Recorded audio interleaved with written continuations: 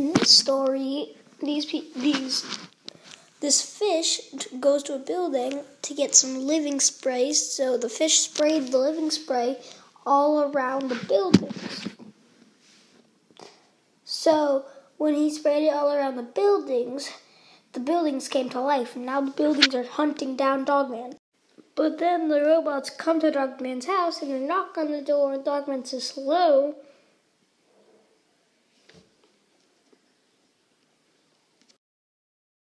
Then Dogman's frightened to death, and he's about to get killed. But he can do anything with his unstoppable team.